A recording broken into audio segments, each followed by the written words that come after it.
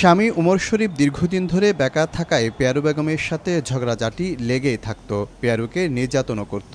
বাধ্য হয়ে বাবার জায়গায় বিক্রি করে স্বামীকে বিদেশে পাঠালেও ফিরে আসে সেই বেকার হয়েই এরপর কাজকাম না করাই অতিষ্ঠ হয়ে গত তেরো জুন স্বামীকে তালাকনামা পাঠান পেয়ারু। এতে ক্ষিপ্ত হয়ে রোববার সকালে পেয়ারুকে ছুরিকাঘাত করে পালিয়ে যায় শরীফ। সোমবার চিকিৎসাধীন অবস্থায় চট্টগ্রাম মেডিকেলে পেয়ারুর মৃত্যু হয়। অনেক সমস্যা ছিল আগে থেকেই। ওদের সবসময় দেখতাম যে একটা না একটা মানে দ্বন্দ্ব সবসময় লেগে থাকতো। মানে বনাবনি হতো না ওদের সাথে। নয় বছর ধরে বেকার বেকার থাকার কারণে ওনাকে ডিভোর্স করে দিছে। এই জের ধরে উনি আসি ওনাকে ছুরি মারে দিছে। আমার দাবি তো ওর ফাঁসি চাই। এত খারাপ হতে।